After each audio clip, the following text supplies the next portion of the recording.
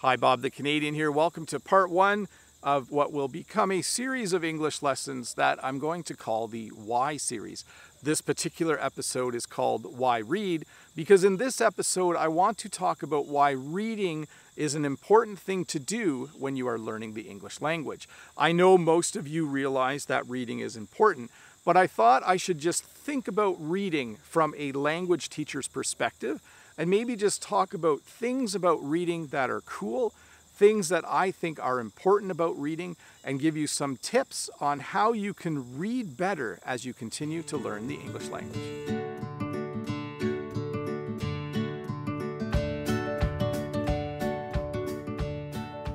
One of the most obvious things that makes reading cool is the fact that you can control the speed. You can read as quickly or as slowly as you want to. If you are reading something that is difficult, you can slow down. If you are reading something that is easy to understand, you can speed up. This is different than something like an English conversation. You really don't have very much control over how fast the other person speaks. You can ask them to slow down, but they don't always listen. But certainly one of the cool things about reading is you are in complete control over the speed at which you read. The second thing that's really cool about reading, and this is also a technique you should use when you are reading, is the fact that you can read things more than once. If you read a sentence in English and you don't understand it, you can reread it to try and gain an understanding. If you did this in an English conversation, the person might get annoyed with you after a while if you constantly ask them to repeat themselves. But when you're reading, you can very easily go back and reread a sentence or reread a paragraph. You can even stretch this out. If you read a book last year in English, try reading the book again this year, again in English, because it will simply reinforce everything that you learned the last time you read it. Let me give you number three and four all at the same time. The third and fourth things that make reading cool are you can do it almost anywhere.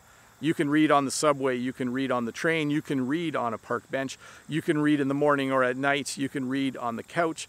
If you are stuck waiting for your child to be done dance class, you can read a book. So you can do it almost anywhere. And you don't need a partner. The only thing you need to be able to read is you need a book or your smartphone or an e-reader. So number three and four, you can do it anywhere you want and you don't need a partner to read. The fifth thing that's really cool about reading when you are learning the English language is that you have time. I know I already said you can read quickly, you can read slowly, but you also have time when you are reading to figure things out. If someone in a conversation says something really quickly, you don't always have time to figure out what they said.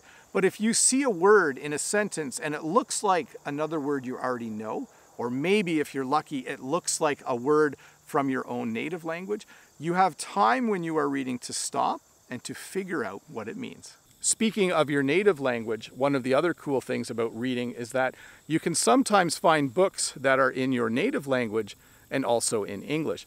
If there are any books that you have already read in your native language, I highly recommend that you find the English version of that book and read it again.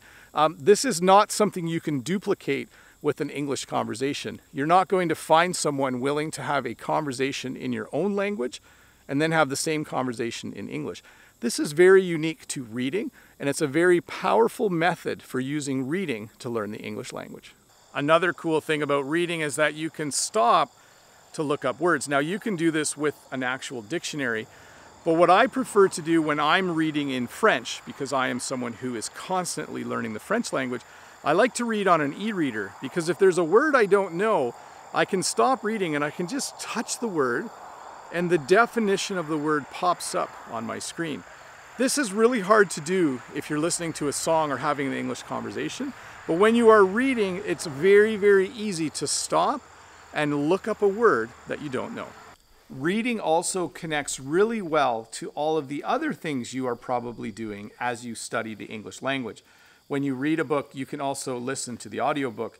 When you read a book, you can write parts of the book out to practice your writing. When you're reading a book, you can read the book out loud to practice your speaking.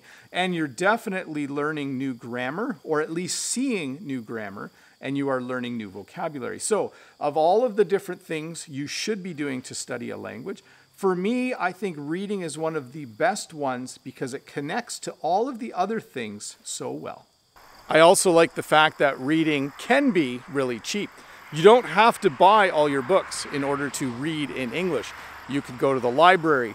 You can read things that you find on the internet. There are so many ways that you can read in English where you do not need to spend any money. I think this might be my favorite one. I'm a pretty cheap person. I don't like spending money. So I think this is going to be the one that I say is the coolest. One of the coolest things about reading is you can do it for almost no money or no money at all. Another cool thing about reading in English is that you can choose to read about things that you already know about. If you already have a lot of knowledge in a certain area in life, I would start to read things in English about that. Jen, for instance, really likes flowers. If Jen was learning a new language, I would suggest to her that she reads things in that language about flowers, books, magazines, newspaper articles, anything that she could find, because she would then be connecting her current knowledge with what she is reading in English.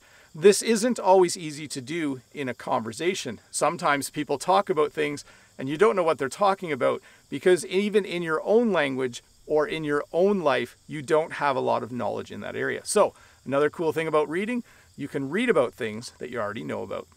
One of the things that I do think is really cool about reading is that you will learn new vocabulary, but you will learn it in context. What that means is that you aren't just learning the word for cat, you are seeing a sentence with the word cat in it. You are not just learning new vocabulary using flashcards. You are seeing that vocabulary in an actual English sentence. So, another really cool thing about reading and why it is important is because you will not only learn new vocabulary, but you will see that vocabulary used in a perfect English sentence. Okay, don't do this last one if the book you are reading is from the library or if it is a book you do not own. But another cool thing about reading is that you can write in the book. So you can't do this when you're listening to a song. You can't do this when you're having an English conversation.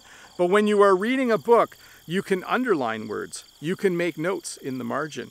You can do a whole lot of things that help you remember the words that you are learning.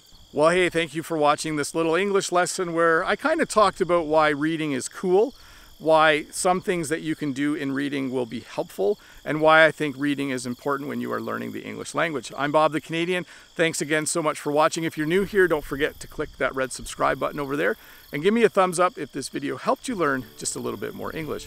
And if you have the time, why don't you stick around and watch another video.